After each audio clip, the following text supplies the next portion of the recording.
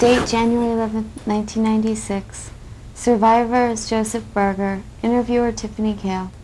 City, New York. State, New York. Country, USA. Language, English. New York, USA, English. It? Mm-hmm. okay, um, January 11th, 1996. The survivor is Joseph Berger. The interviewer is Tiffany Kale. New York, New York, um, USA, English. Hi. Hi. Um, can you tell me when you were born? September 20th, 1937. In what city? There was a little town on the Hungarian-Yugoslav border called Subotica. Can you spell that? S-U-B-O-T-I-C-A. Okay. And um, what are your parents' full names? My uh, mother's name was Anna Goldner, G-O-L-D-N-E-R. And of course, uh, when she married my dad, it became Berger. And my dad's name was Imre Mirko Berger. Can you spell your father's name for me? Sure, his first name was I-M-R-E, which was a Hungarian name, and uh, Mirko, M-I-R-K-O, which was a Serbian name, and of course Berger. How far, do you know how far the town in which you were born was from the Hungarian border? It was just practically on the border. As a matter of fact, it kept shifting hands. It was Hungarian, it was Yugoslav, it was Hungarian, it was Yugoslav, and uh, it was, well, the area was part of the Austro-Hungarian Empire, and after World War One, they decided uh, that the town was going to be Yugoslav, and then later on it became Hungarian. What language did the people in that town speak? Both, but both. Actually, they spoke Serbian, they spoke Hungarian, there was some Volksdeutsche that spoke German. But uh, primarily, these people were speaking uh, Hungarian.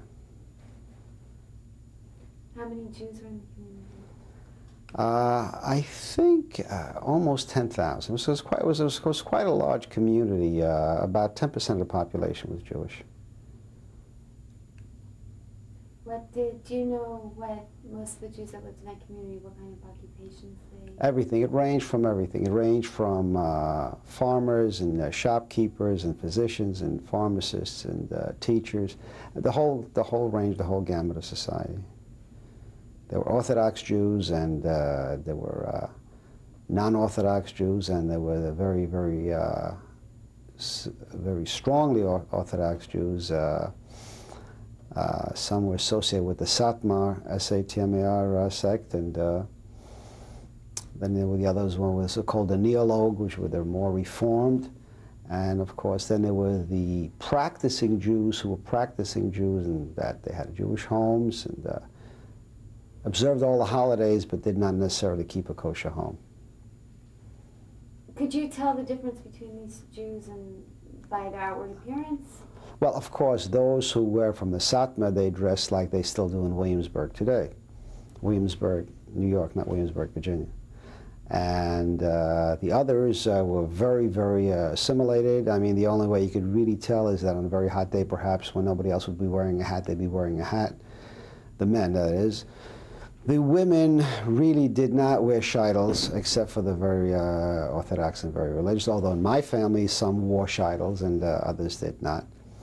Um, but primarily, the people that uh, we, in our circle, not necessarily our family, but our circle were uh, mainly uh, practicing Jews who knew they were Jewish, uh, who were Zionists, and uh, non-kosher.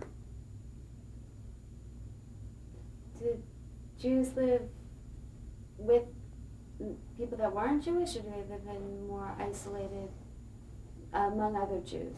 Well, I have to tell you that uh, my time in Subotica was limited. I, I, that's not where I, that's where I was born. My father was a physician. He was a pediatrician, and he had practiced in Subotica, and we also lived in Belgrade, Yugoslavia.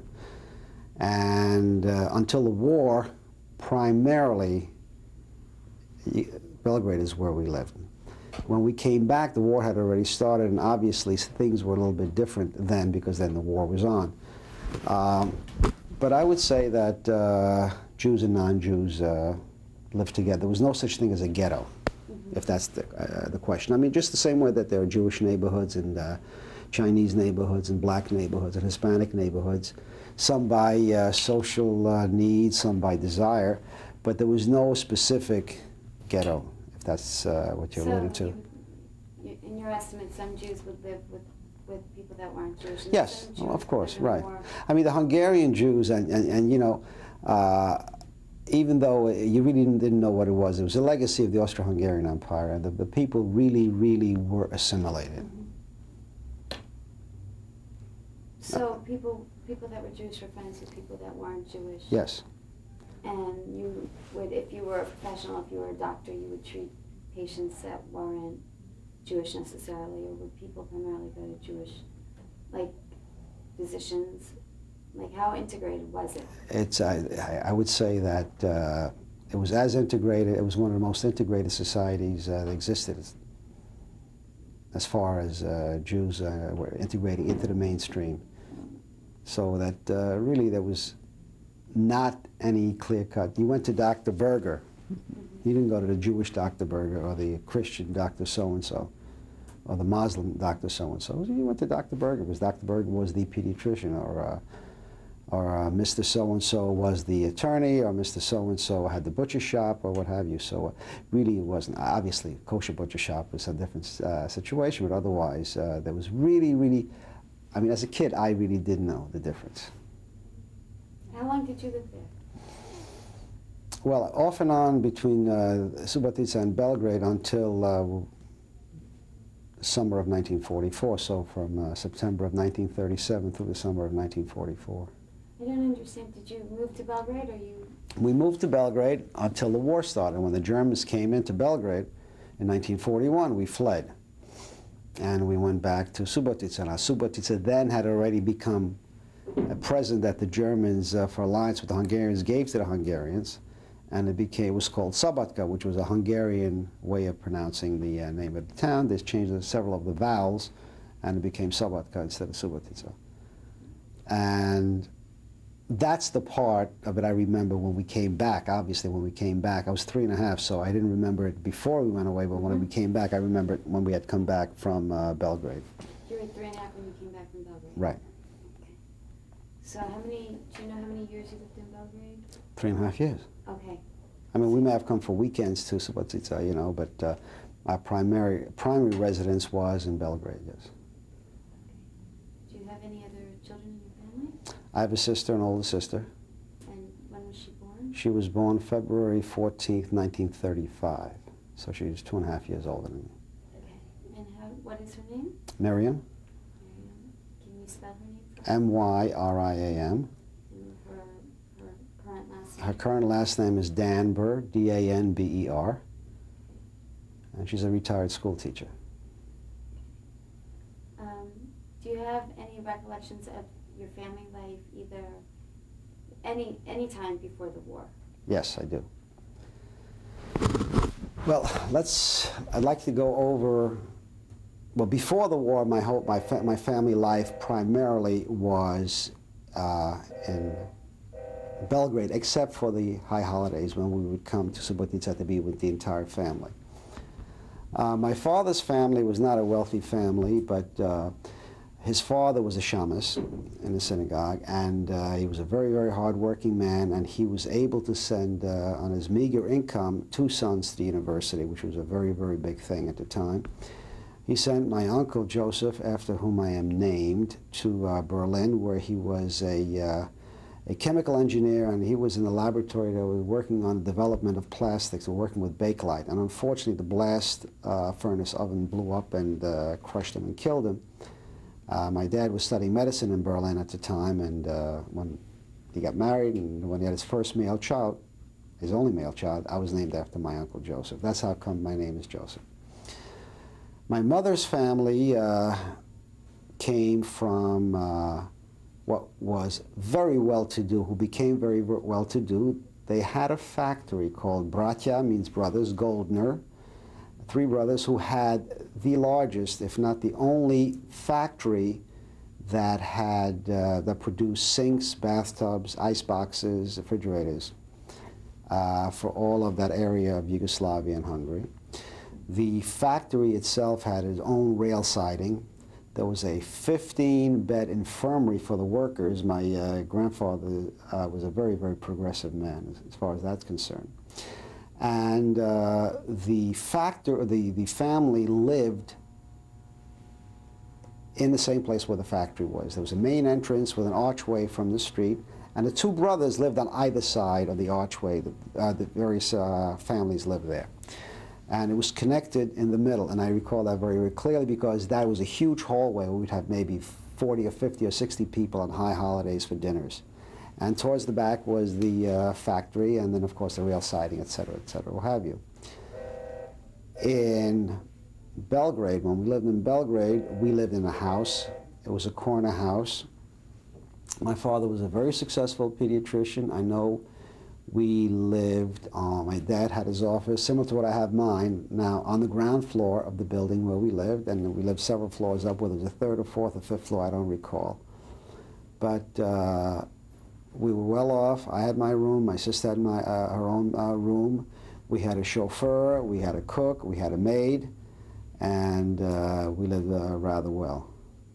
And everything was just hunky-dory until the Germans came in. My dad had been uh, mobilized, and he was in the army, the Yugoslav army, when the Germans came in. And uh, they came early, and we ran down to my father's office where there was a room where he had been using the x-ray machines, and these were lead lines, so we thought we'd be a little safer just in case the house took a direct bombing hit. Of course, it was not my idea. I was a little kid. Uh, right after the uh, bombing was over, we hopped into uh, our car. We had a small uh, English car. Uh, I think it was an Austin. I really don't know. A small car.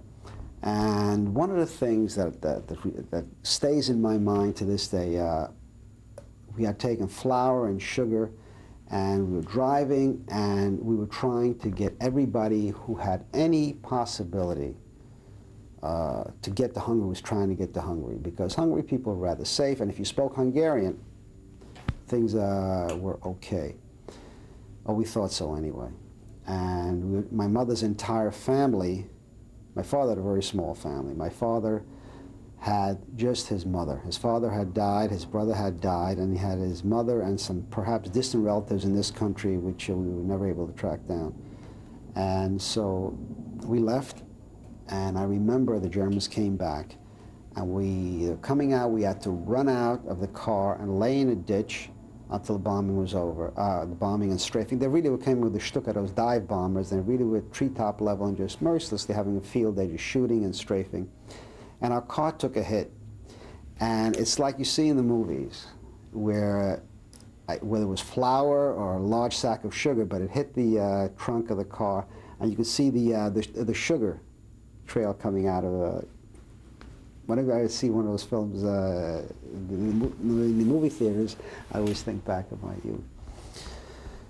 It took us uh, a fairly arduous trip, and I really don't recall it. We had to cross rivers, and uh, we had to. Uh, my mother buried her jewelry someplace. We took a raft across. Finally, we got to part of Yugoslavia that had been returned to Hungary, where my mother's family was, and uh, we stayed in Subotica, which now had become Szabadka. Now, my language at that time was Serbian. And uh, of course, my mother spoke perfect Hungarian because she was from Hungary. My dad wasn't there. The rest of the family that lived in Subotica or Szabadka spoke Hungarian.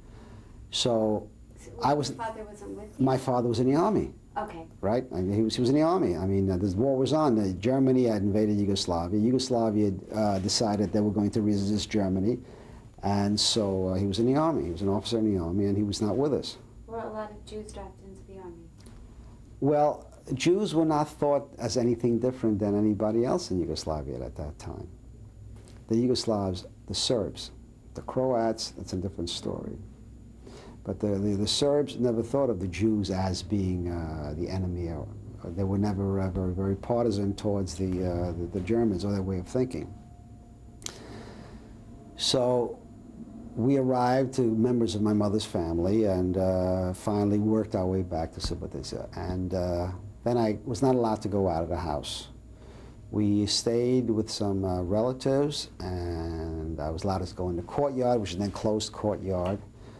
Uh, it was on like a farm. There was a smokehouse where they would smoke the meat, and they would. Uh, I remember a fun time pickling uh, fruits and jams and what have you. But I was not allowed to go out until I forgot all Serbian that I knew, and I could speak Hungarian, and I had to speak it. So in case somebody stopped me on the street, that I wouldn't be some, uh, wouldn't be a, an enemy, quote unquote.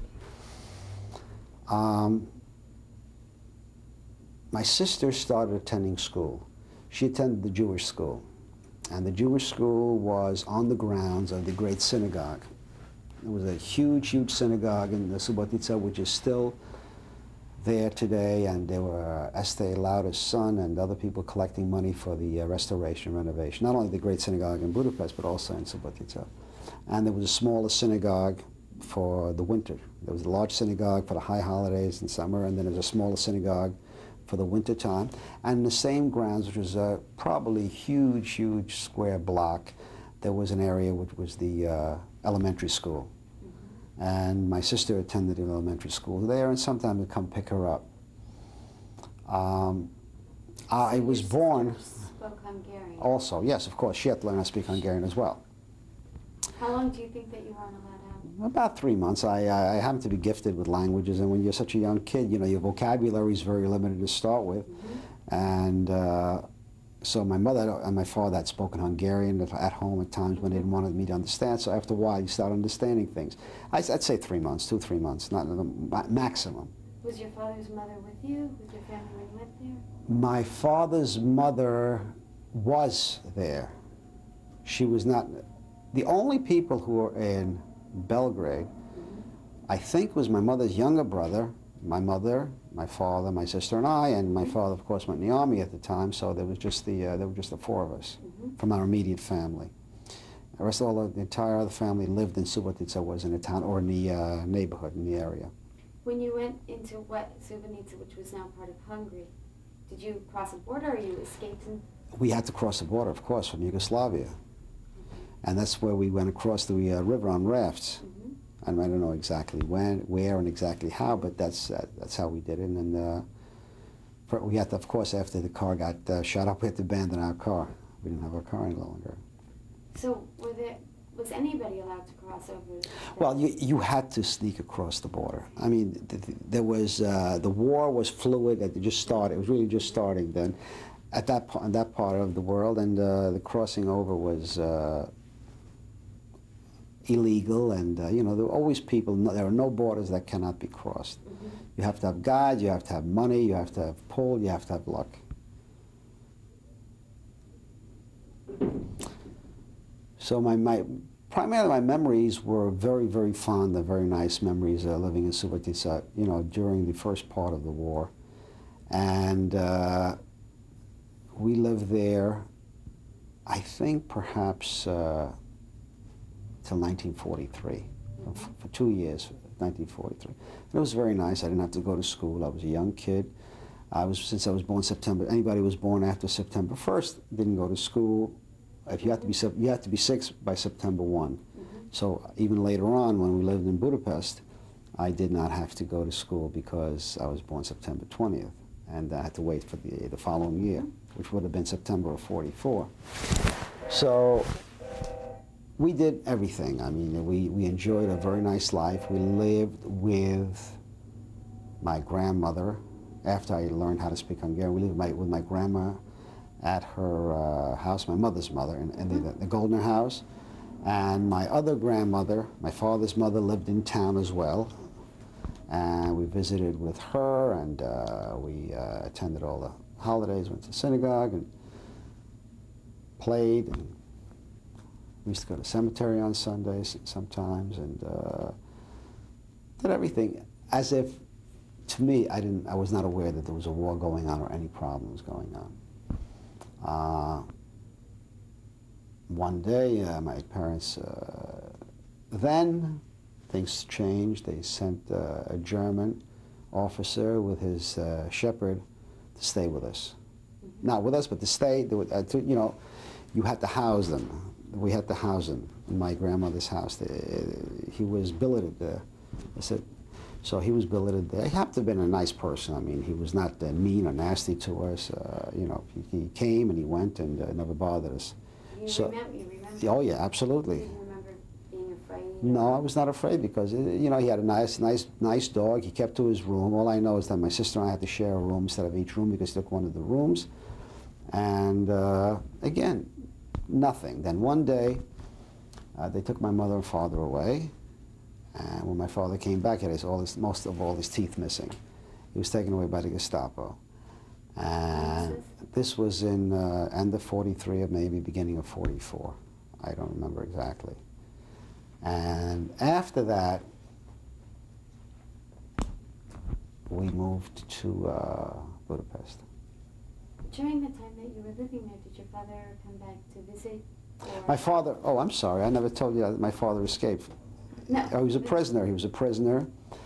Uh, he was a he was a prisoner. I mean, the Yugoslav when he got the- the? Yugoslav surrendered. It's not that they captured. I mean, they surrendered. The Germans defeated the Yugoslavs as they did everybody else in the early years of the war, and uh, he. Uh, I mean, he was a physician. He was an officer, but he was a physician in the army, and uh, he overpowered. Uh, he and some people overpowered some guards, and they took their uniforms, Hungarian uniforms. Now, my father spoke Hungarian perfectly, without an accent, so. Uh, they uh, commandeered a uh, truck, and then he hopped into a truck, and they drove and drove and drove. And the only problem was that he remember. I remember him telling me that he could not find shoes to fit him. So he had this Hungarian army uniform on, with non-Hungarian army uh, issue shoes, and they were sitting in the truck for three or four days, afraid to get out of the truck because somebody might uh, see their shoes. So, uh, and then he finally found, you knew, he knew where we would, the only place we would go if we, we were still alive, and uh, we would not have stayed in Belgrade. So he came and he uh, was with us in Subotica, and he was there. And uh, then we made trips between Subotica and uh, Budapest. We went to live in Budapest.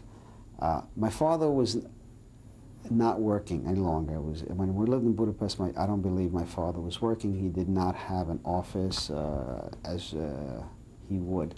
We lived there, and things were not too bad. We lived, as I best recall, in the street not far from the Danube. I mean, Budapest on either side of the Danube. We lived in uh, in Pest, not Buda. Buda's on one side, Pest. So we lived in, Bu- in Pest, and uh, my aunt and uncle my mother's older brother and his wife also lived in town. And I believe, I believe my father's mother, we got her in a place to stay. I remember I had the chicken pox when I was in Budapest. And I was there until we went to concentration camp. Now, interestingly enough and strange, uh, things that I remember, I was watching that uh, little film that uh, the Spielberg uh, had put on last week on TBS. And in the newspapers, there's a photograph of two little brothers, could maybe two years old, two and a half years old, each with a Star of David on their, uh, on their heart. Interestingly enough, you had to be six. If you're under six, you didn't have to wear a star. And I was so upset and so annoyed and so disappointed that I didn't have to wear a star. I wanted to wear a star just like just like everybody else in the family, and I, you know, and uh, my parents uh, had a difficult time explaining to me that I really didn't need and why I didn't need to wear it, and uh, it was it was a good thing that I didn't need to wear it, because I didn't have the so-called Semitic appearance. I was a little kid. I didn't have the star. I spoke Hungarian perfectly. I ran the street. I played ball with all the kids, and as I said, there was no ghetto, so the kids that I played with were uh, could have been younger Jewish children, or they could have been Gentile children, for all I know. Did you move to Budapest because the situation was Yes, we safe? yes, though we had to move to Budapest. Right, we had to move to Budapest. We were, my father wasn't working, my mother wasn't working, and we had to move. We had, we moved to Budapest, and we had to move to Budapest. Until the near the very end, Hungarian Jews were relatively safe. I mean, if you look at the history, the Hungarian Jews survived practically the entire war until near the end of 1944. After, I mean, most of the Hungarian Jews were alive on D-Day. It was only after that that they started getting the Hungarian Jews, when they had already destroyed the entire Jewry of all of Europe where they were, but the Hungarian Jews. So anybody who was from the former Austro-Hungarian Empire, whether you were Czech, whether you were Yugoslav, whether you were uh, Romanian, if you could speak Hungarian, well, of course, you went to Hungary because you were relatively safe in Hungary. Early on. Later on, things got pretty bad. I mean, things got so bad that the, uh, the SS had to protect the Jews from the fascists. That's how bad things finally got in Hungary. But, so we lived in Budapest, and then uh, first and uh, came the laws that uh, they would, they were not taking people yet at that time to concentration camp, but they were taking men to forced labor. And uh, my mother had three brothers. The oldest one died someplace near Russia in a uh, forced labor camp. My Approximately? Uh, no, no, no. My uh, mother's middle brother, younger brother, my father were taken to a place called Garany, and don't ask me how to spell it. I think it's G-A-R-A-G-N. And uh, they were there in the, uh, for a short period of time. My father being a physician, they needed physicians, so they let him come back. And uh, we were together in uh, Budapest. So, how, you know, when you were in Budapest, that you probably had some awareness that something um, was going on. Oh, absolutely, absolutely, and absolutely. You saw the adoption of laws. Well, the, the, the law, I mean, you know, the, uh, the Aryan laws uh, were put into effect. There was no walled ghetto, Mhm. but it's my uh, perception that Jews lived, had to live in a certain area. However, there were no walls and there were dogs and guards. I mean, nothing like they had in uh, Eastern Europe. Mhm. And uh, of course, jobs were scarce. However, the Hungarian Jews were, you know, uh, sort of a strange uh, mix of either assimilated or the Neturei, Karta, the very, very, very, very, you know, Orthodox. And as a matter of fact, uh, the uh, assimilated Jews used to call the uh, very Orthodox or Hasidic Jews Finns. Fin Poland, Fin Lithuania, Fin Latvia, Nit meaning from Poland, from uh, Lithuania, from Latvia, not from here. That you know was a, was a, an expression. I mean, the chief of police once upon a time, Budapest was a, was a Jew and uh, very very high position. So the Jews were very very assimilated, and uh, when the fascists turned on them, it was such a shock that in such an assimilated uh, place. I mean, the Admiral Horthy's um, through marriage had Jewish relatives. It was, it was, it was, it was, it was amazing. But things got bad.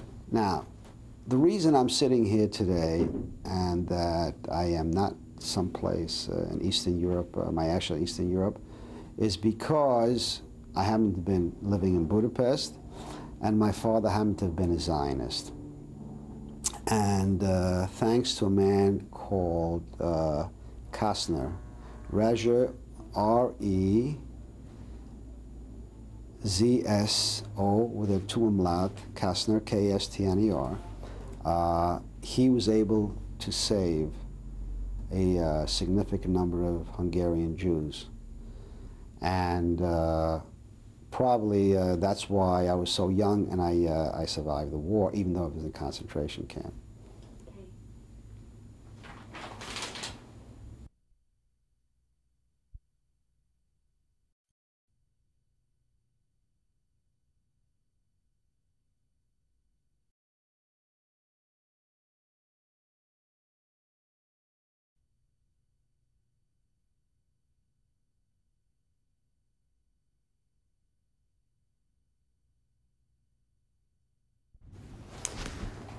So there we were, we were living in uh, Budapest, and as I said, I really did not feel that there was a war, there was anything going on.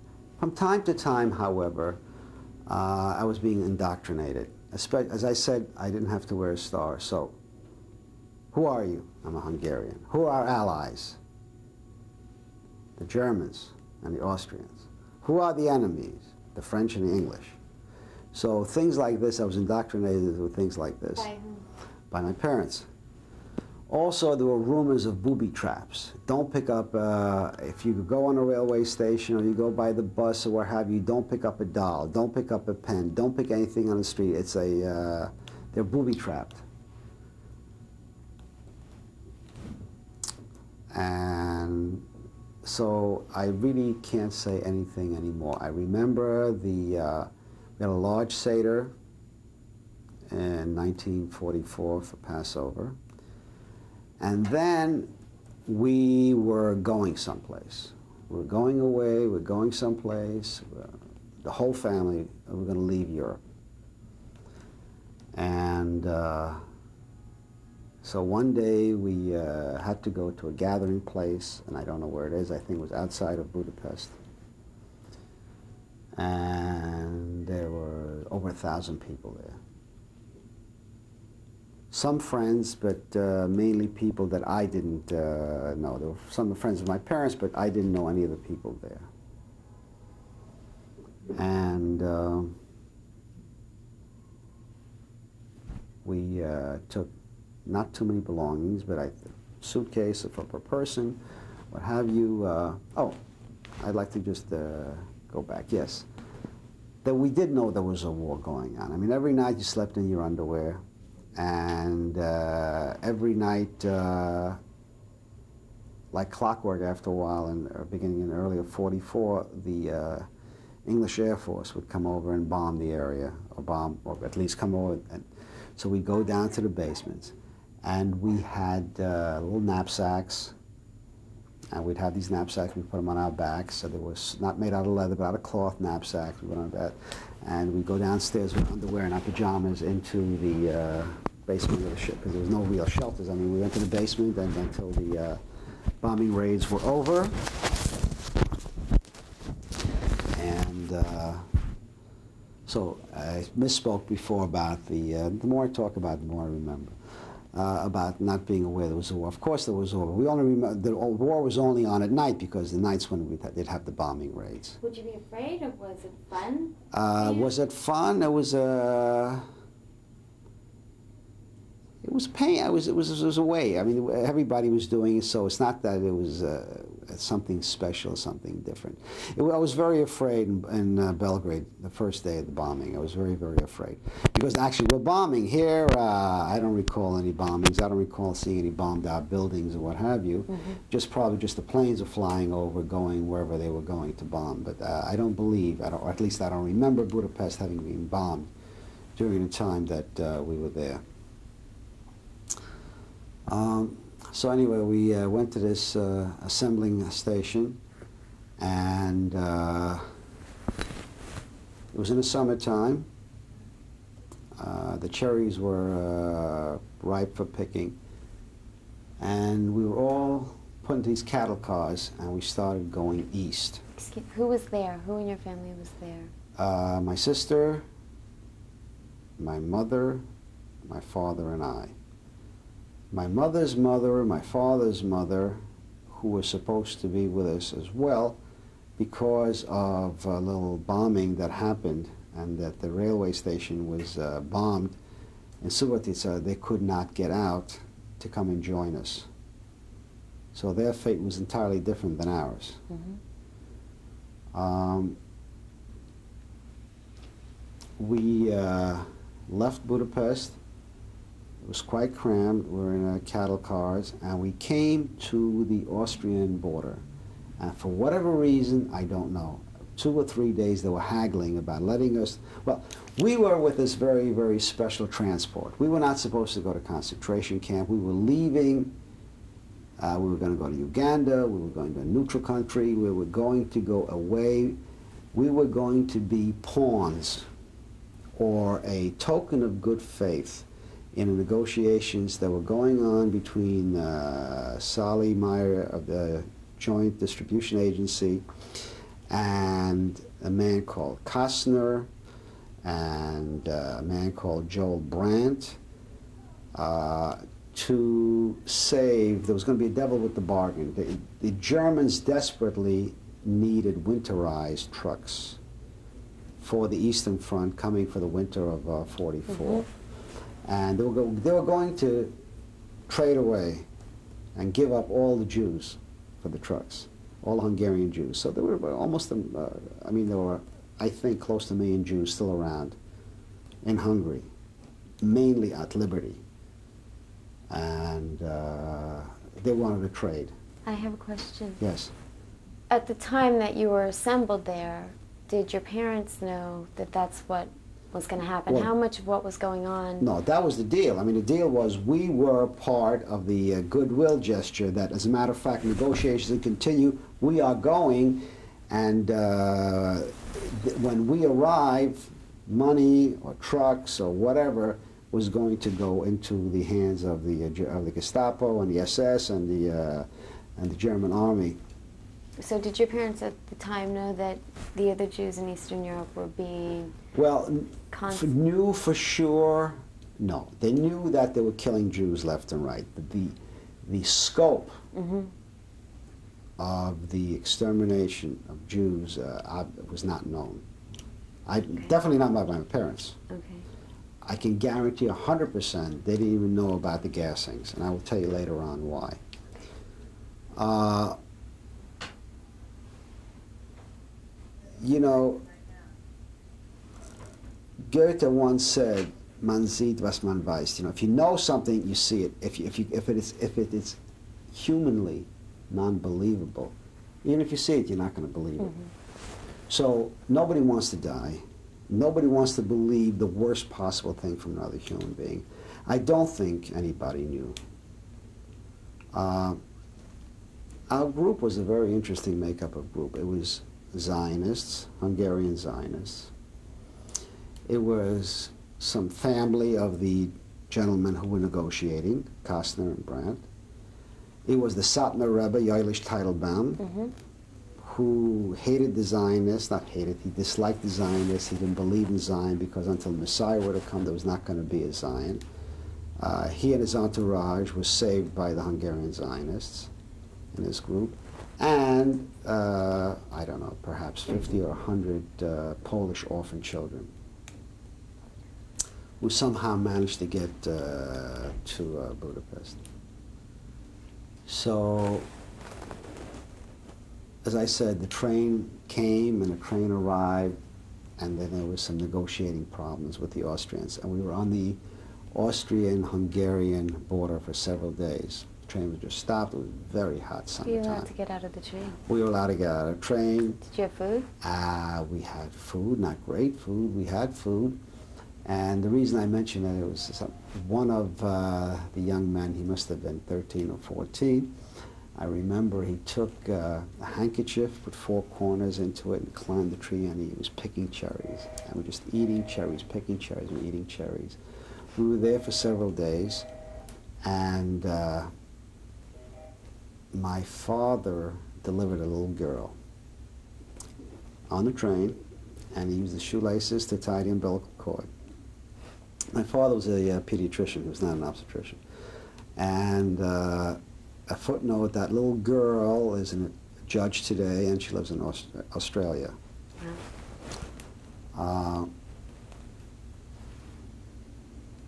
so whatever happened, the Hungarians and the Austrians got together, and they agreed let, let, let the train go. We went, next thing I remember, we arrived in a town called Linz, L-I-N-Z, in Austria. And there, uh, you first realize that we're not going where we're supposed to be going. Uh, at least for 24 hours, we're locked up in some place. And uh, showers and delousing, and they started shaving people's hair and uh, heads and what have you. Uh, So- being so young, I was with the women. So you, everybody got off the trains? Well, they got us off the train, they got, got us to his place, and uh, then they started, you know, the physical examination, the, the delousing, the shaving of the hair. Did they separate the men and women? Well, the men and women, well, yes. The men and women were separated. The women were certain area with all the female children and the uh, male children up to a certain age, what have you. I, uh, I was young enough, I was with, my, with the women. I don't know how long we were there. Day, two days, I really don't know how long. Back to the train, and then for some reason we decided uh, not to go to Freedom. They sent us to a place called Bergen-Belsen in Hanover, Germany. So I don't know how many days that uh, that leg of the trip took. Uh, but the Do train, but the Do you remember being calico- frightened any Uh, time during? was I frightened then? No. I, I was, I was, I have to tell you, the only time that I was frightened, I was frightened twice. Once the day of the bombing, and once when, uh, and I'll tell you something else that happened in concentration camp, a little while about what happened, but I was only frightened twice. The first bombing in First bombing in Buda- Belgrade. In In Belgrade. Belgrade, in Belgrade. Okay.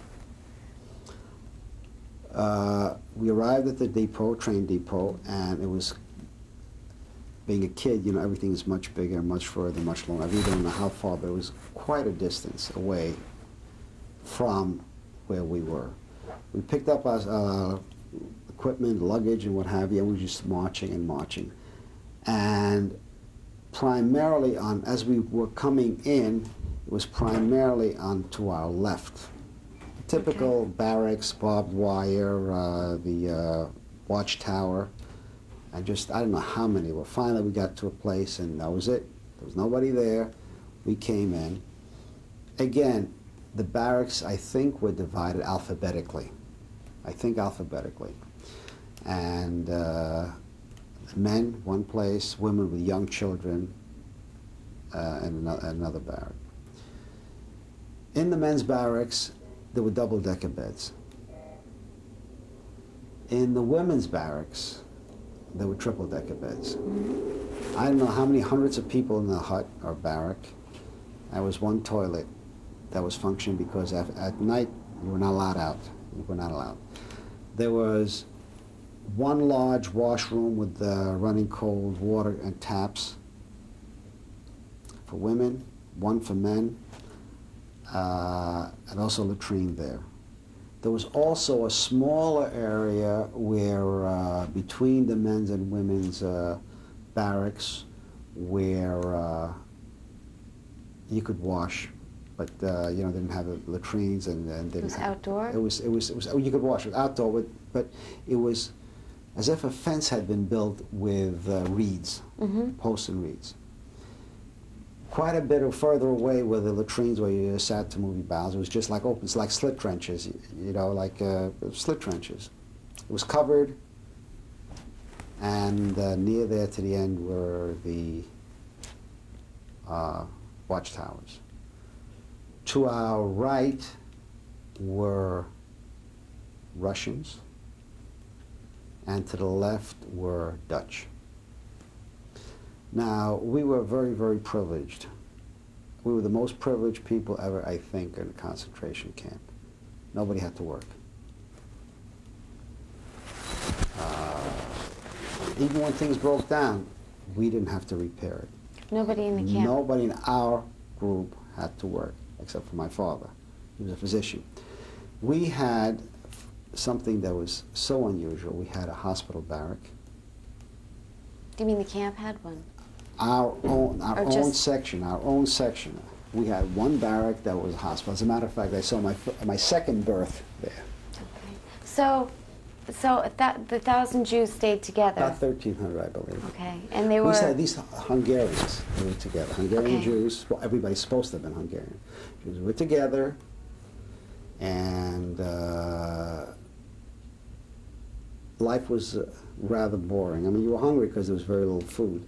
But every morning, uh, every morning at five o'clock, rain or shine, it was uphill. You had to get up, and they were counting the people and counting the people and Outside? counting outside and Did counting. you get online? Yeah, everybody had to be online, counting for hours. In the rain and the cold, they didn't care. You know, and if uh, there was one mistake, start all over again. You had to line up in rows of five. five deep. Mm-hmm. And the uh, father of the little girl that was born on the uh, train, he was happened to be uh, B. His, name, his uh, last name is B O D O R. So we were in a B barrack with a B. So he was the the man in charge of counting because they would never let a woman count women's. Uh, you know, the women had let a woman count the numbers or do anything. You mean so men would be in charge of groups of Counting- women? No, no, no. He wasn't in charge. He was in charge of counting. I mean, it was his that that he had. That was the, you know he had to make sure that this barrack. There were X number of people that uh, were counted in the evening, and that's something that you know. Tomorrow, either you show me a dead body, or you have to have the same number of people. Uh, mainly, our life was very boring, very hungry, very boring. Um, I learned a few uh, words of Polish from these orphans.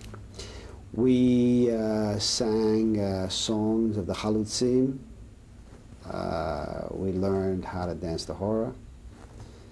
Uh, children mainly played. I played uh, soccer.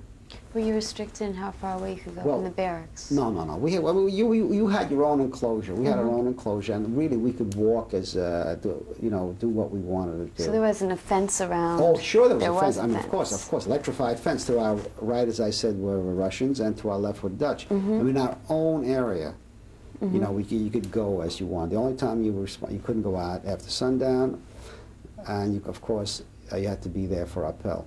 Mm-hmm. Um, So you played soccer.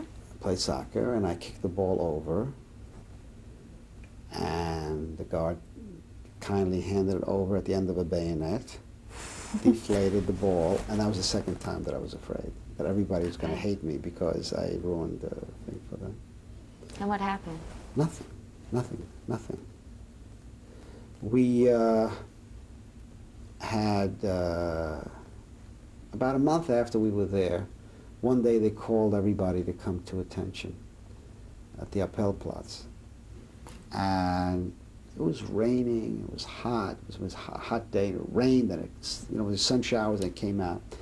Standing there drenched and drying off, it was very hot, and they started calling names. And my sister said, but they're already at the D's. They're not going to call us. A small group of this privileged group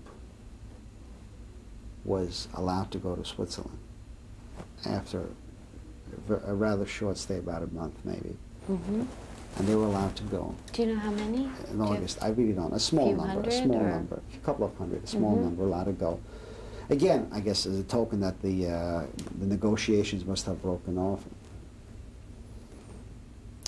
So then we stayed there until December. Did you know then that they were going to Switzerland, or did you find I- that I- out I afterward? Didn't know anything. I mean, that, you know, they said they're going. The the Germans were not forthcoming Mhm. of uh, what was happening to people. Two things happened. There was a guard whose kid had had tuberculosis, and my father saved his life when he was a pediatric, a pediatric resident in Kiel, Germany during his residency. Mm-hmm. The guard recognized my father. He gave him an apple. So my sister and I shared a half an apple each. The second unusual thing that happened to me was that my dad was allowed, the, the Dutch did not have a physician, Mm-hmm. and I was a very sick kid next door.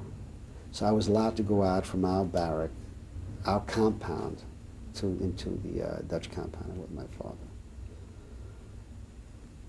We didn't know or didn't believe that there were gas chambers in Bergen-Belsen, that they were, they were not gassing people. We were sure they were not gassing people when we were there. And the reason for it is because being as young as I was, I could go and take showers, either with my mother or my father. And each time when my father went, I took showers, and when the women went, I'd go along with my mother to take showers. So, you know, the, I had, they had the slightest inkling that, the, that not water was going to come out of those shower heads. I'm sure uh, we would not. You'd get assembled together and you'd march maybe five, six miles away, and there you would uh, undressed, just like they did, they did in other places where they gassed the people, except here there was no gas. So are you saying that if you had heard that, Had you would have my- been no, afraid? Not, not I. No. Had my parents better heard that this was going on, Mm-hmm. they would surely would not have exposed their child to go to it twice a month. I mean, Mm-hmm. just on that today they're going to gas people. So nobody had any inkling or thought that they were gassing people. Did you have to wear a uniform? No, see, we I, we were special. The others had that uniforms. We had no uniform. The other people in different compounds. all different compounds, all different had just like in uh, like everybody. We were very very special because we were not even supposed to have been there, and Mm-hmm. uh, but we were there. Um, so that that was it. The deprivation of uh, food, not having anything to do. Now, interestingly enough, and I think this never happened to anybody during the entire war, is that they allowed us to empty out the hospital barrack, and we had, in fact, Rosh Hashanah and Yom Kippur services, which uh, I don't think ever happened before or after in any of the other uh, concentration camps, any group of people. Um, one day in November, from time to time, we, there would be Red Cross parcels of uh, cigarettes, hmm I think, uh, that they were distributing. And uh, with cigarettes, you could trade. In those days, everybody was smoking. With cigarettes, it was like uh, today uh, you have uh, Swiss francs. I mean, you could, or dollars. You could trade anything for cigarettes. And uh, I have to tell you about my mother. My mother's a very beautiful lady. And uh, no matter what happened throughout, she had, firstly, we were terrorists, my sister and I. And she would say, not my children. My children are the most wonderful children. And the second thing, she had a tiny little piece of broken mirror and a lipstick, and she just had to put her lipstick on and look as if she were uh, wherever she was going. Um, everybody, they had, obviously were not the first people in that uh, compound. So people would initial their names and dates and Mhm. write them into the uh, compounds. One day, my mother in November gets a dream that something wonderful is going to happen. Sure enough, 10 days later, they start giving us food. Much greater rations and much different, much better rations than we'd ever had. I'm sorry, when was this? This was at the end of November Okay. of 1944. Mhm. December 4th, I believe it was, and, and the dates may be off, but it was Mhm. early December. They said, they called everybody, told us, you're leaving, we're closing the camp and you're leaving. Not the Who entire you Bergen-Belsen. One of the uh, SS officers, you know, that called an appel and they said, everybody got their stuff together and we marched and marched and marched and marched with whatever we could Mhm. and uh, we arrived at the railhead, and it was a terrible, terrible, terrible bombardment that night. Terrible bombing all night. Next morning, we got into railway cars, not cattle cars, but railway cars. And we went to St. Gallen, Switzerland. We arrived, and the Swiss uniforms and the helmets are very similar especially to a uh, seven-year-old kid. Mhm. And instead of uh, dogs, there were smiles and chocolate. Giving kids chocolate. I mean, and that's I mean, why would the Germans want to give me chocolate? And of course, they're Swiss. They speak Swiss German, Mhm. so you know, to a fine, untrained ear, you know, it sounds exactly the same thing. What's what's with these German soldiers? Mhm. Um, but I have to recount another story that happened. On September 20th, 1944, I was in Bergen-Belsen. Mhm. So we used to get some marmalade and maybe some margarine once in a blue moon and very black bread. I don't know, a couple of years ago was the hot thing, this Russian peace bread, this Mhm. black bread, I mean, horrible stuff. So my mother and father saved up and they took seven slices of black bread, small portions, and they put a little bit of uh, marmalade and a little bit of uh, margarine, and they made me a little slice of cake. So that was my birthday present, uh, my seventh birthday. And then we arrived at a place called St. Gallen, which was in uh, Switzerland. And we stayed there several days. And then we went to try to get people back who were really grossly malnourished and then try to get them back into some sort of shape. The people that were with you. How many us. people We were, we were about a thousand. We were about a thousand, like well, 900 something, close to a thousand that came. Mm -hmm. And uh, we then were sent to a place called Caux, C-A-U-X, sur Montreux, above the famous uh, Montreux. And there were three hotels there. One was the Esplanade, which is known, also known as Palais des Alpes, which is now the headquarters for moral rearmament. Second one was called the Regina, and the third one I really don't know the name of it. It was a small one, a smaller one. The overwhelming majority of the uh, people went to the Esplanade. hmm A smaller number went to the Regina because this was where all the people, the Orthodox people went there. They were going to have kosher food there. This is in Switzerland now. Wait, they knew they would have kosher food there, Oh, or they wanted to take over the kitchen and No, no, no, no, no, no, no, no, no. They were, they, these people, these were going to get kosher food. and they knew that there would be kosher food Right. there. Well, you know, I mean, we were now in Switzerland, hmm and the third little hotel became the hospital. hmm And uh, so we stayed at the kosher hotel because my father was appointed to go there. He was told to go there because they needed a physician. Hmm And uh, that's where I met uh, Rabbi, uh, the Satmar Rebbe, Yoelish Teitelbaum. I mean, I, he had been in Bergen-Belsen, of course nobody could get close to him. And uh, they try to indoctrinate everybody, of course, uh, into wearing uh, uh, tzitzis and letting your payas grow and uh, studying Talmud. Did your parents, by now you were seven, so did your parents say anything to you about religious Jews to stay away from them? No, no, no, no, no, I mean, how could they? How could they? My, uh, my, there's a large group on my mother's side who are uh, very, very Hasidic. Hasidic. Mhm.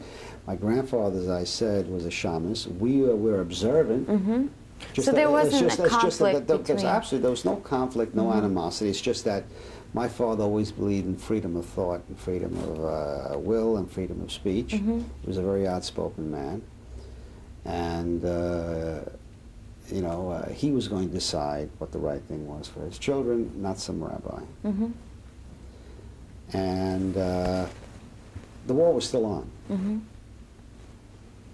And of course, you couldn't come and go because uh, you could come and go on the grounds of the hotel, but you couldn't leave because the Swiss you under uh, you were uh, under martial law under the Swiss military, and they wouldn't let you leave. Come, uh, you know, you could not come and go.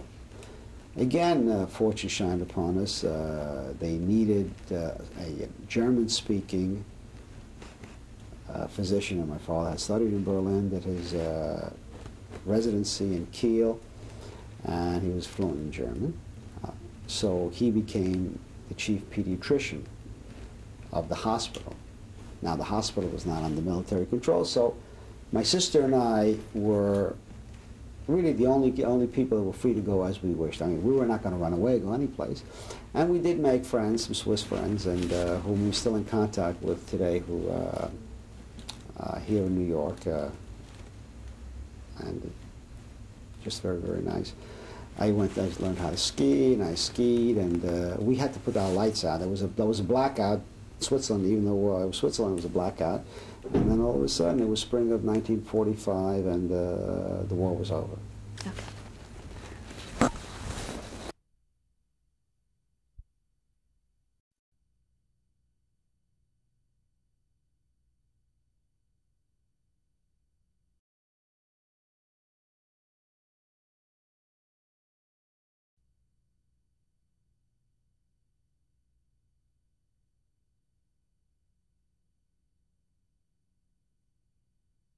Nineteen ninety-six.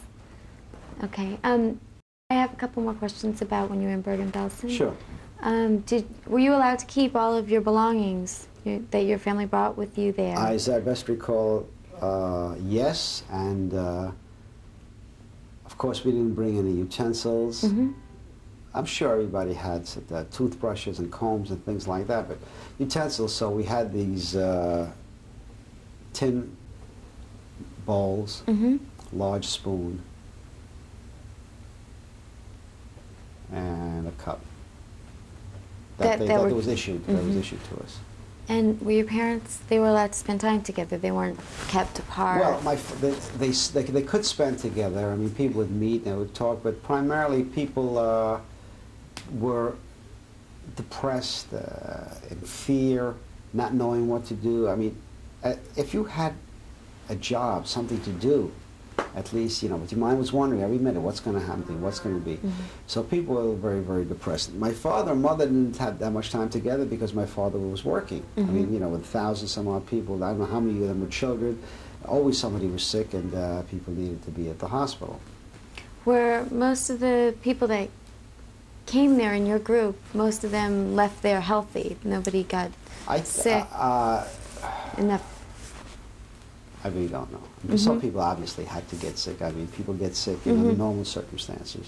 And being uh, deprived of food and uh, proper medication, I'm sure uh, people got sick. hmm I'm sure we almost had one, uh, one or two deaths also. I mean, just of old, uh, you know. I, I, but I really can't tell you that. But not necessarily. Not because of specific abuse. Okay. How many? Did the majority of the people there have some kind of work that they could do? Well, there were people who were craftsmen.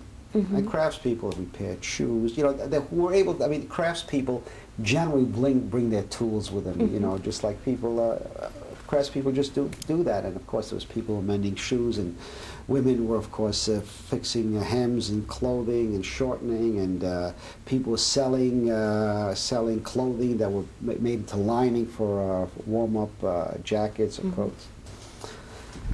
My father, having been a uh, pediatrician in a small town, which was mainly in an agrarian society, a lot of times got paid not in money but in kind. hmm And he has this uh, leather vest.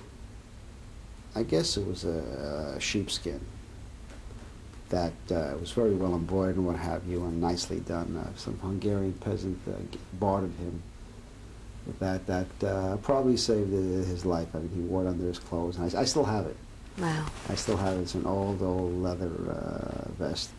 And uh, then uh, subsequently, my mother knitted uh, some sleeves to it. Uh, I, wore it, uh, but I uh, took the sleeves. I still have it as a souvenir. So you and your sister would mostly just play together during the day? Right, we play. We try to learn some Hebrew songs. I said we learned how to dance the hora. We were planning to go to Palestine. Mm-hmm. You know, Artza Alinu. We were going to the, uh, the, the land, the promised land, and uh, we learned songs and we sang. We played. Really, we played. And uh, uh, when I look back, of course, there's no fun being there. But I look back, it's the same as, as, as those children in the other ghettos where they were not starving. I mean, for children, young children, you know, it's boring. You're not going to school. You, there's- you have to have something to do. And children are very, very resilient in finding uh, games to play. Mm-hmm. And uh, so uh, we played games. Uh, we played engineer. We played, uh, as I said, we played soccer, the boys.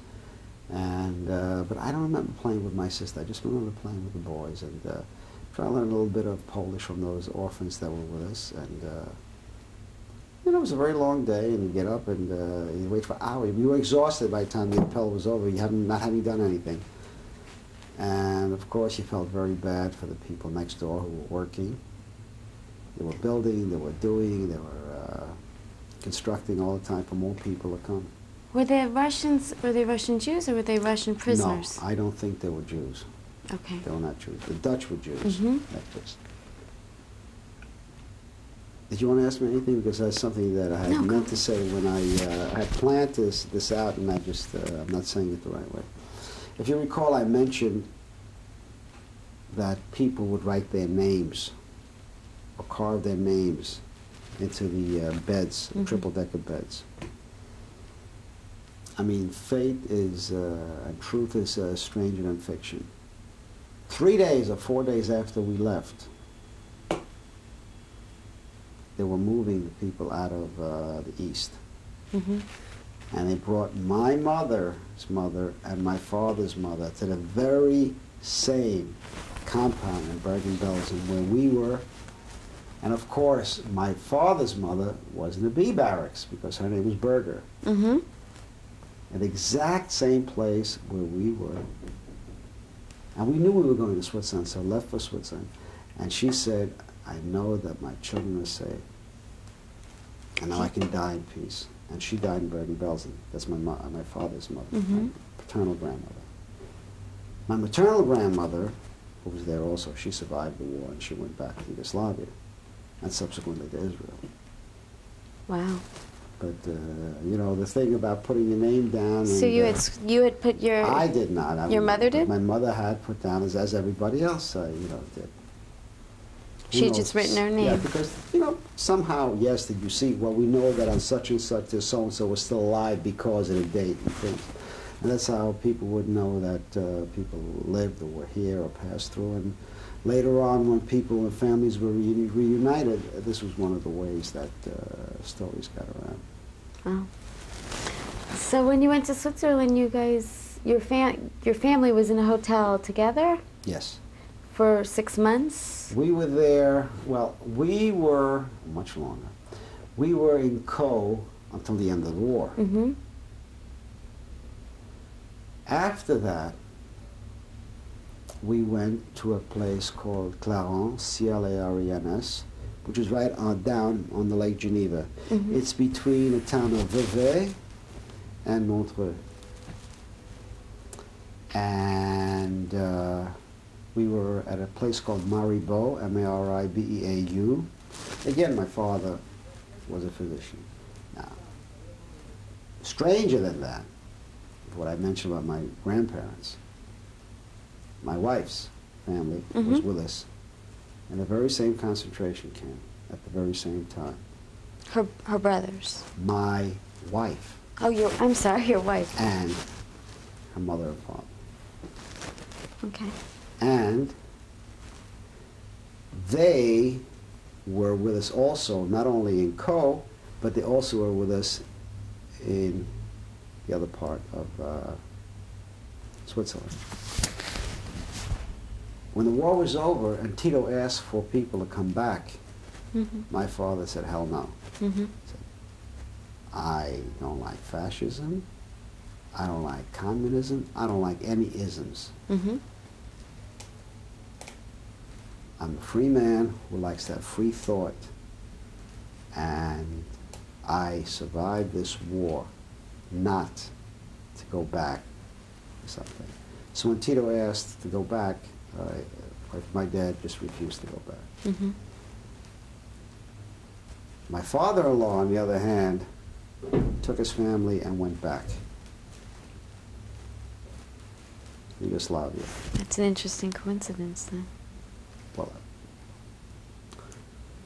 So we then were there during the summer of 40, part of the summer of 40, I'm sorry.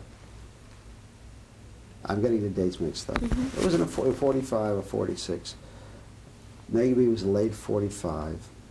46, we were, early 46, uh, we were sent to a, another place where uh, called Aigle, A-I-G-L-E, Mhm. and we were the only Jews there.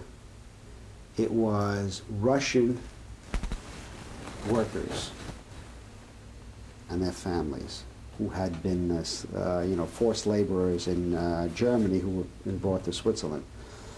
And uh, we were there. Uh, we were the only Jews. My dad and uh, my mother, my sister and I, and we got along very well with the uh, administrative staff, the uh, Swiss officers, and to, to this date, I mean, just the last year, the last one died. We were constantly in contact with them every New Year and holidays. That we, we kept in touch with them. Um, I have a I started question. learning French. Oh, excuse me. I'm sorry. No, please. Um, the time that you were in Switzerland, you were all together as a group. In the first place In the first place, in were. Caux, yes. And then when you moved down, I'm sorry, what's the name of the town? to. First is Claremont. moved? Okay.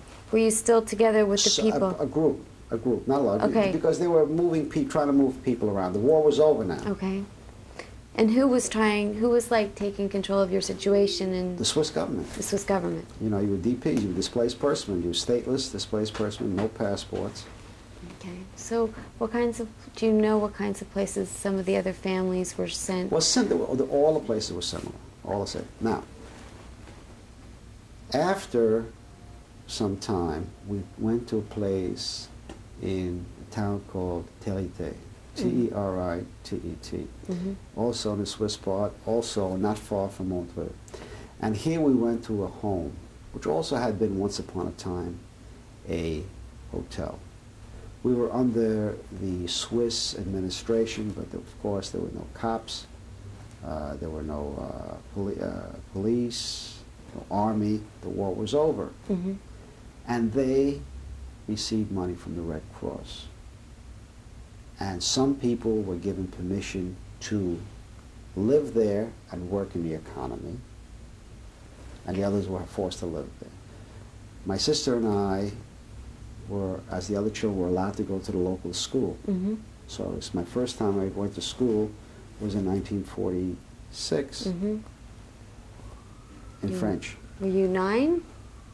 46, I was nine.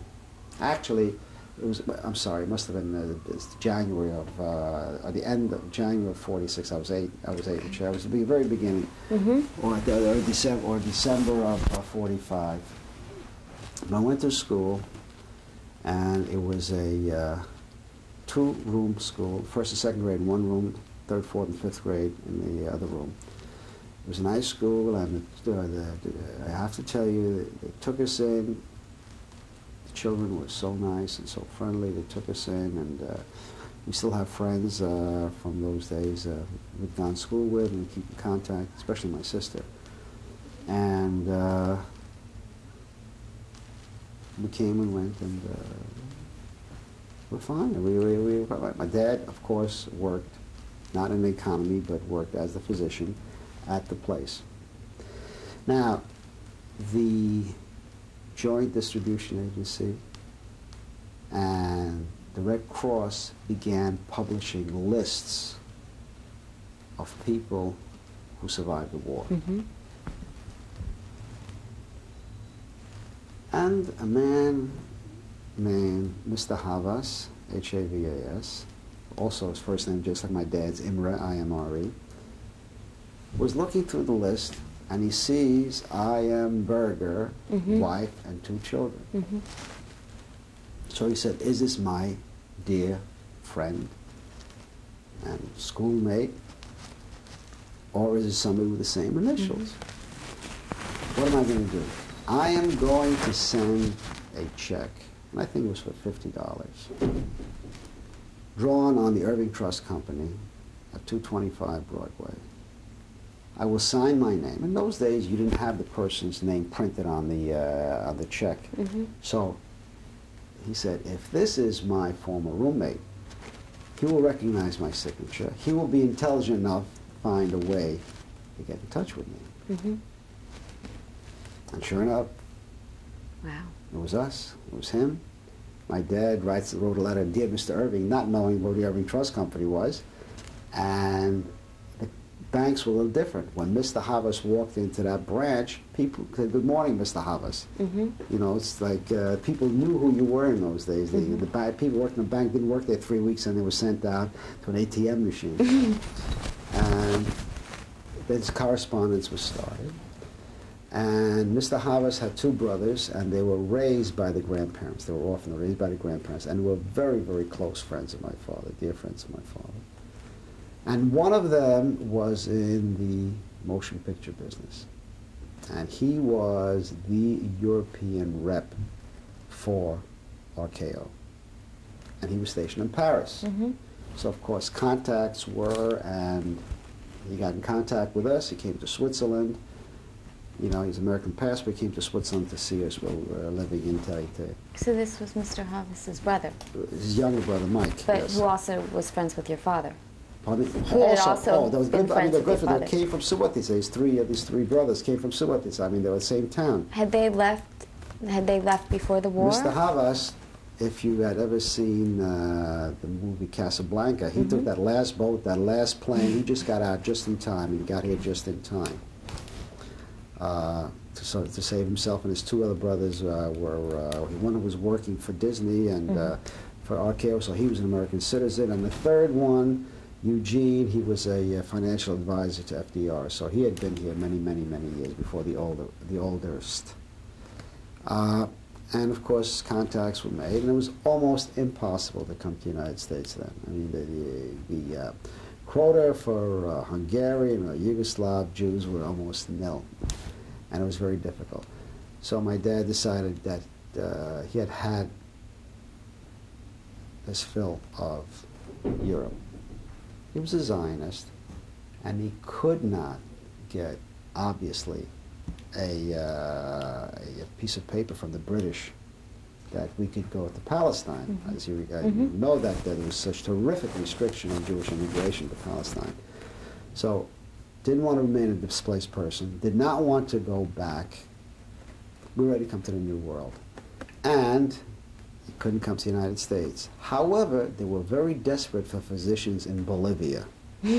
so we were going to go to Bolivia and started learning Spanish. About a month before we were supposed to go to Bolivia, we get an affidavit that based upon a preference quota for physicians, we could come to the United States. So now shift gears. Oh. Have to now learn English. So uh, my father had to learn English. And my sister and I took a few lessons in English. And I remember the first uh, thing I learned in English was about Beatrix Potter tales. In uh, 1947, in June, we left Switzerland. We traveled to Paris, and we spent a few days in Paris. With, and we stayed as a guest of Mr. Havas, the one one who was in the film business. Mhm. Then we went to London and stayed with one of my uh, father's classmates from school, who was a dentist who was living in the West End. And then we took a uh, ship called the MS B-A-T-O-R-Y, a, Pol- a ship on the Polish registry going under the Belgian flag. And uh, we came to the United States. It took eight days to cross the Atlantic. I thought I was on a, such a huge ship. When we docked next to the Queen Elizabeth, we looked like a tugboat compared to her. I mean, it was a terribly, terribly small ship in comparison. Uh, it was a wonderful trip. Food, I hadn't had that much food and never plentiful food ever in my life as I recalled. Um, we arrived to New York on a very steamy, muggy, horrible, typical New York summer day. On July 16, 1947, we arrived very early in the morning.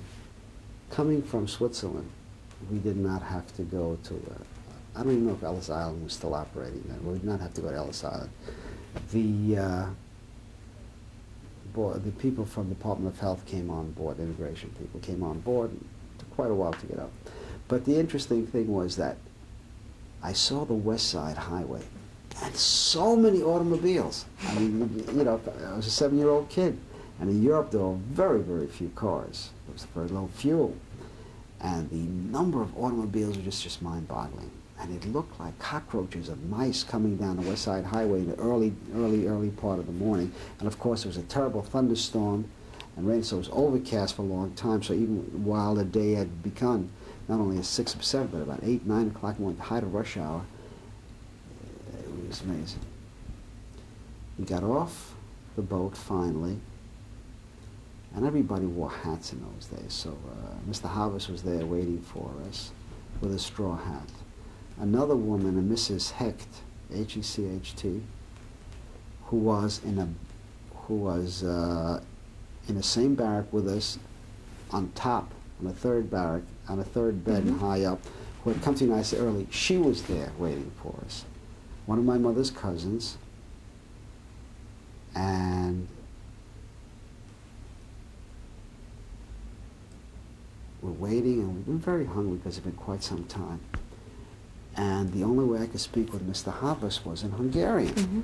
So I started speaking in Hungarian to him. I was how hungry I was, and all of a sudden, here's this man, a vendor, who's selling in Hungarian. So, how would you like to have a ham sandwich?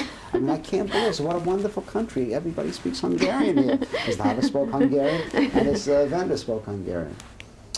And uh, Were you really excited when you were coming? oh, I mean, it was. Uh, you know, I was, I was seasick for two days, but after that, it was just the most marvelous thing. The crossing the, uh, the Atlantic was wonderful. And uh, of course, uh, seeing the Statue of Liberty didn't mean anything to me. I was a seven-year-old kid, didn't mean anything. Mhm. Now it means a lot to me. Mhm. But passing by didn't mean the buildings. I mean, I had seen the film with Joel Gray, uh, The Adventures of Buffalo Bill. I thought they were cowboys. I mean, really, you know, they were cowboys, and uh, you know, this is nowadays, and they were cowboys and people with horses. I also saw other films thinking that all of the United States was noontime down a Wall Street area. There thousands of people walking. And these were the perceptions that I had coming to the uh, United States, obviously. Then we moved to Queens, one and two family, one and two story buildings, you know, totally, totally, totally different when we came here. We stayed in the Bronx for three days, the first three days with some Mhm. friends. And then we moved to Queens and uh, three days after we'd been here. Wow. When you went to school, you had to learn English. Then, of course, I started school again, and this time I started in English. The time before I'd been French. Right. Uh, I had a lot of problems. In those days, young boys didn't wear slacks. Wore shorts. Wore shorts in the summertime, wore shorts in the wintertime. And of course, only sissies wear shorts here, or so it seems in 1947. So I was in a fight every day for the first couple of months. I was in school. But by that time, I spoke pretty good English quite well because we came in July and school Mhm. started in September. And in two months, you know, I uh, managed to get a, uh working vocabulary and uh, speak the language relatively. Was it more difficult for your parents to learn? Oh yes, it was. It was. My father. Well, firstly, my father being a professional, he had to take it, learn English. There was uh, a special English for examination that you had to pass for as a, as a foreign professional. Mm-hmm. Once you pass that before, then you could first study and take an examination for your specialty, if you were a Mhm. physician or dentist or attorney, what have you.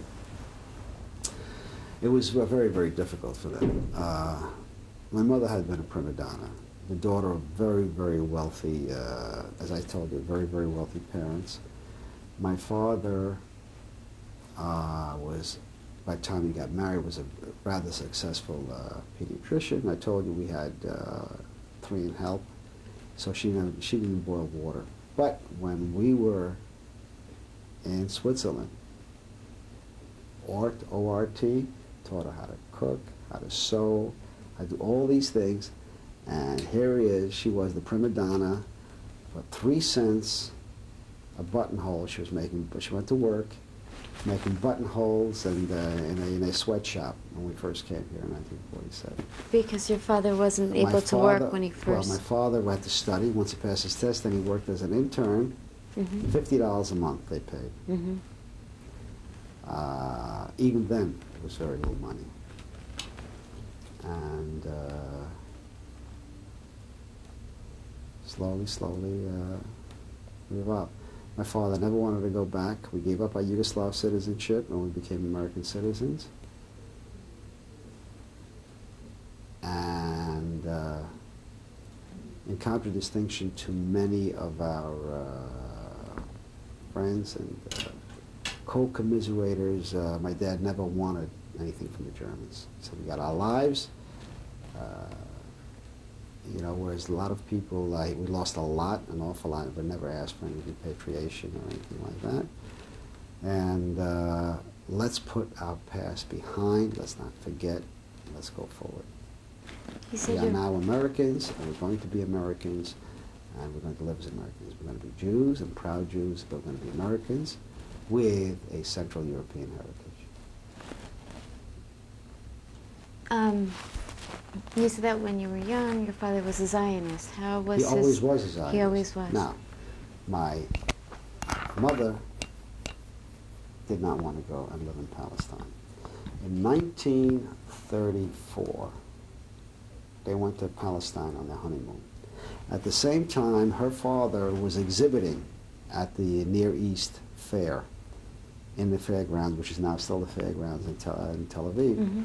And uh, I mean, it was just sand, not dirt, sand. It was just beach and sand and uh, heat and flies. And, and my mother said, no.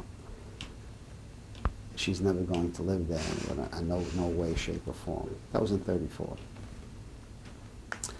By uh, 47, she had two children, and we came here because it was now impossible to go, and she decided, well, we're going to make our life over here. Now, the rest of her family that survived, Mm-hmm. Her two brothers, my aunt, and my, my maternal grandmother, the first chance that Tito let the Jews go from Yugoslavia to Israel, they immigrated to Israel. My wife's another story. My wife also went to uh, Israel with her family. They went back to Yugoslavia and uh, because they were searching, I guess, for her grandparents. And also her father wanted to go back and he was a pharmacist. They went back. And then in 48, they went on the first ship that allowed to take children because she had a young brother who was just born. Okay. And so on the first ship that took children, they went and they uh, went to Israel. And, uh, although we had known each other as children, of course, she didn't remember me. She was two years old. And I was seven, and I, of course, I didn't remember her. But when I was in Israel for the first time in 1965, I was driving in an automobile with my mother and one of her cousins. Mm-hmm. And I said, you know, I know that couple. And it was my future father-in-law and his wife. You know, I, I, I mean, I had remembered them. And yes, they, these are the Vidres, et cetera, et cetera, et cetera. And uh, nothing was said and done. And we were, they invited us to ha- come over for coffee and uh, some did the cake. We went to the house. And uh, of course, they had known each other very, very well. And I saw a picture of my wife, who was working for El Al at the time, and uh, she was, you could not fly through the Sinai uh, or the uh, Suez or what have you, so they had to go to Iran and take a base in East Africa because they were flying to South Africa. So my wife, they would, they would send me for six weeks there. So it was, she was stationed six weeks in, uh, in Kenya at the time. And I said, well, why, why don't you come, you know, joking to come visit. And, uh, when she comes to New York, I'm so she flies there. Why don't you come look me up? She came and looked me up, and now here we are, 30 years later, husband and wife. Wow.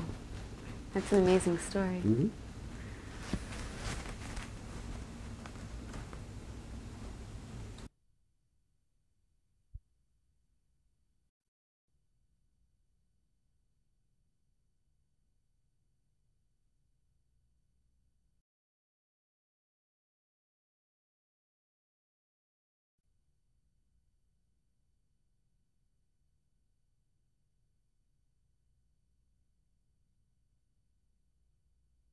Thanks. So, what's your wife's name? Her name is Esther. Middle name is Teresa, and her maiden name is W-I-D-R-I-C-H, Vidrich. Um, the Hungarian crew, or the old crew, call it Terry, Mm-hmm. and the, her Israeli crew call it Eti, Eti. short for Esther. Um, so we met, and uh, we fell in love, and we got married in 1966. She uh, stopped working a couple of months later. She was working for El Al, and I, then I was drafted in the uh, Army during Vietnam, and we were in the Army together. She had been in the Army before in Israel, in the Air Force, as a matter of fact. And uh, we lived in Pennsylvania, and then we came back. I finished my residency, and uh, we've been living here in New York since uh, I came back from the Army in 68. We have a daughter. Her name is Daniela, and she was born in July of 1975. Um, do you have anything to say about the experience?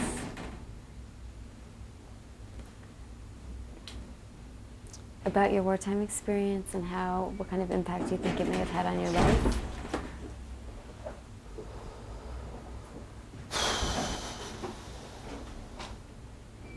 Never forget. You can forgive some things, some things you can't forgive.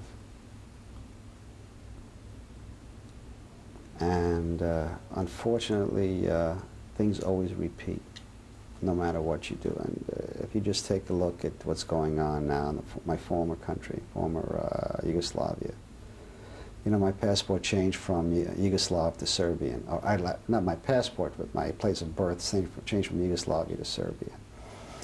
And the people are still at each other the way they were before.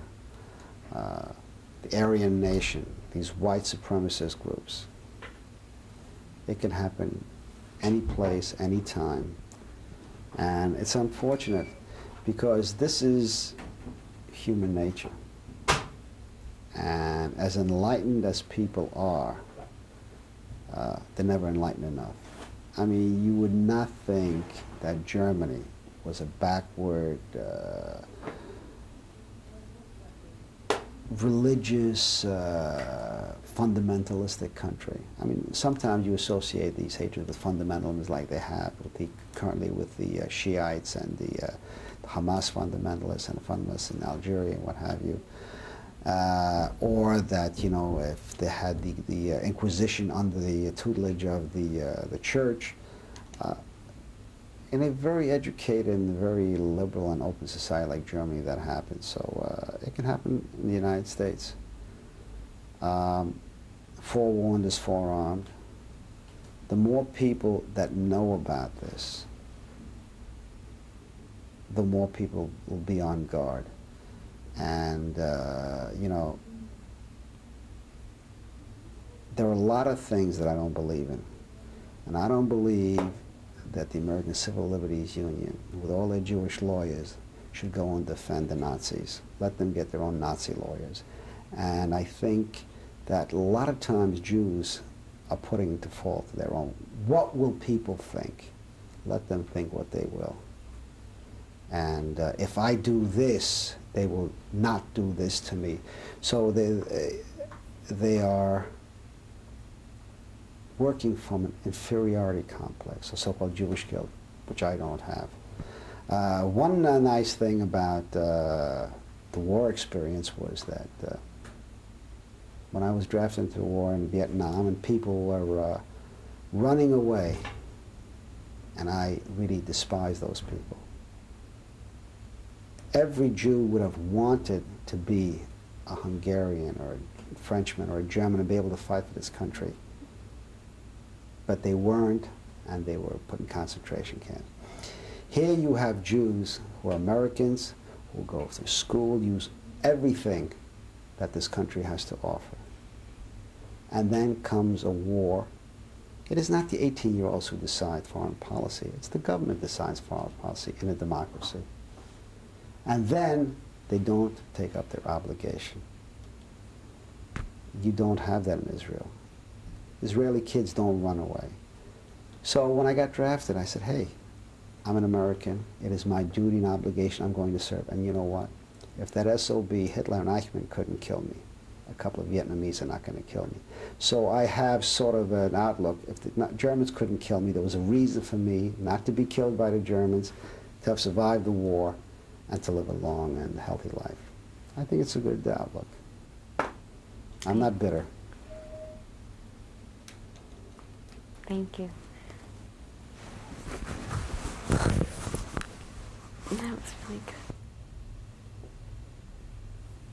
This is a photograph of my uh, maternal grandfather, Mr. Goldner, uh, in his uh, army uniform. This was during World War I, approximately 1916. He is uh, at home on furlough. He was in the Quartermaster's Corps. And the little girl in the white dress and white hat is my mother, Anna.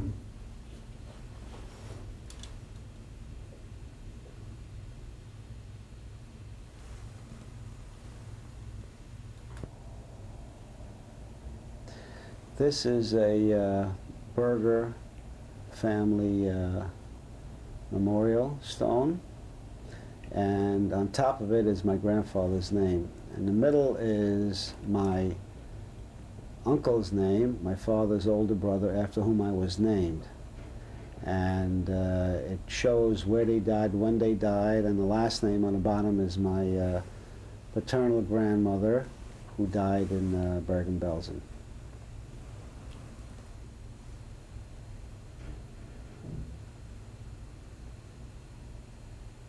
This is in Yugoslavia.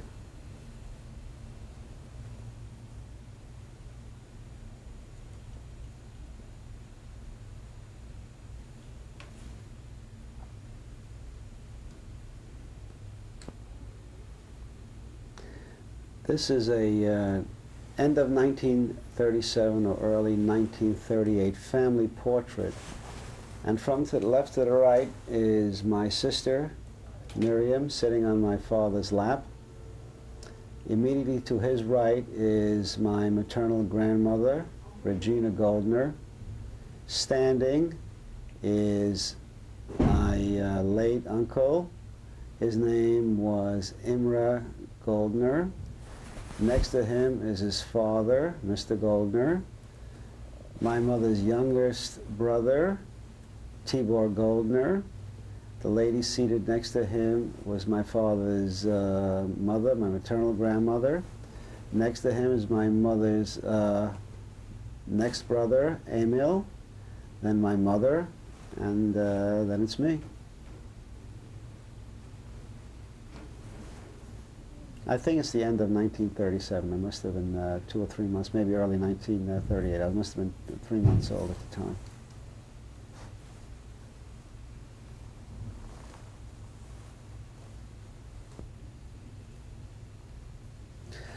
This is a photograph taken in uh, spring of 1945, several months after uh, coming out of concentration camp. This is in Switzerland.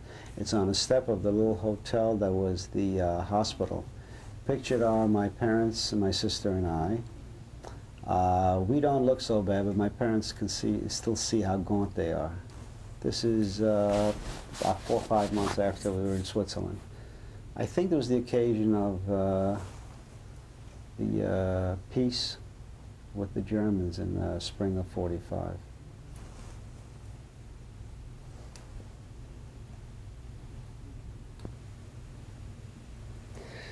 This is uh, June 1947. We're on our way to the United States. Pictured here are my sister and I at the uh, railway station in Montreux just before we boarded the train to go to Basel, and then from Basel we went to London, and then to the USA.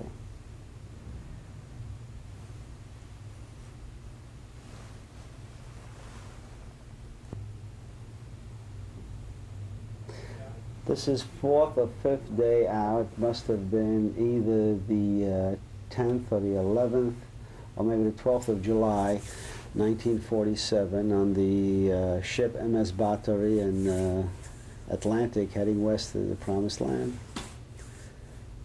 Not Israel, but uh, the Promised Land then was the United States. Who is this? I said it wasn't. There was no Israel then, so the Promised Land was the United States in 1947. Who's in the picture? Oh, my father and my sister. Okay.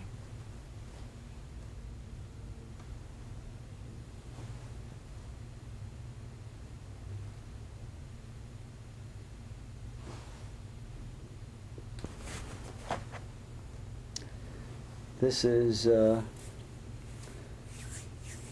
sometime 12th or 13th of July, 1947, on the ship MS Batory. The young man is me looking out, thinking of the future.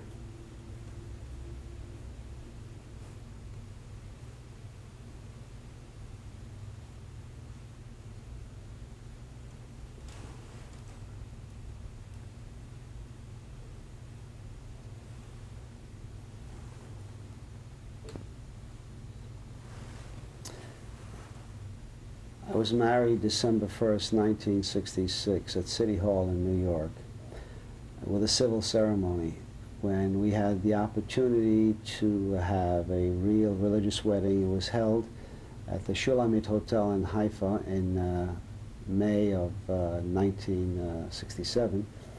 And uh, here pictured is the bridegroom, the bride, and the uh, mother of the bridegroom.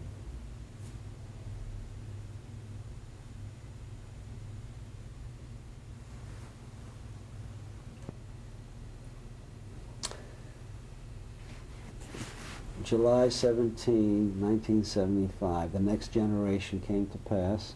This is a picture of my daughter Daniela with her grandmother at uh, about three weeks of age.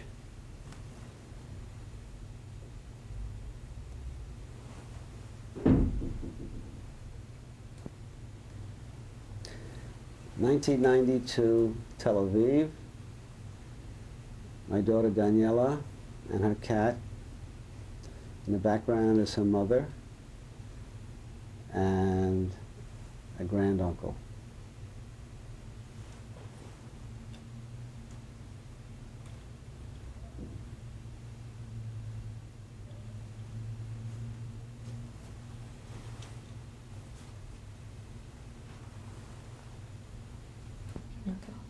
Um, please introduce your family. This is, I'd like to introduce my family. Sitting next to me is my wife, Esther, and standing behind is our lovely daughter, Daniela. Daniela is a college student. She's attending school at Ithaca. And my wife and I are getting old together here in New York for the moment. Older.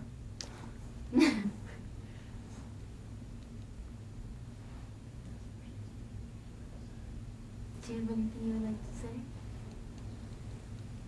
Not really. It's just been, we know each other for very many years, as you must have heard before. Since you were a baby. just about. And the families are connected, which is very nice. And that's all. Everything else is fine. We're happy to be together.